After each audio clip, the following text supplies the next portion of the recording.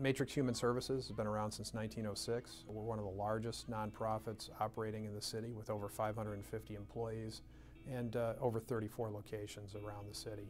We primarily do Head Start preschool programming uh, for children 0 to 5, which is rigorous curriculum-based preschool along with wraparound services for families. Uh, in total, we estimate we service over 20,000 individuals per year in the city.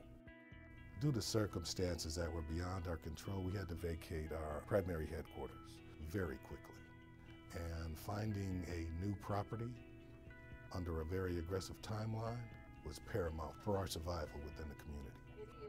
I remember that day when Derek called me and uh, it was a pretty intense conversation. It was a huge project. We set up weekly calls. We had uh, a number of departments involved from engineering to construction to fulfillment.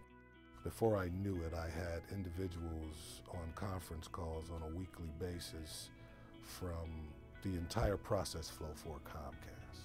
I've been in this industry for over 25 years. That's pretty unheard of. Once we found a new office building, it didn't have high-speed fiber running to the building, so they just moved mountains to get through the city, get licensing done, do the construction and trenching necessary to get us high-speed fiber so we could move as quickly as possible. So if it wasn't for Comcast, I'm not sure what would have happened to the organization. Five, six, seven.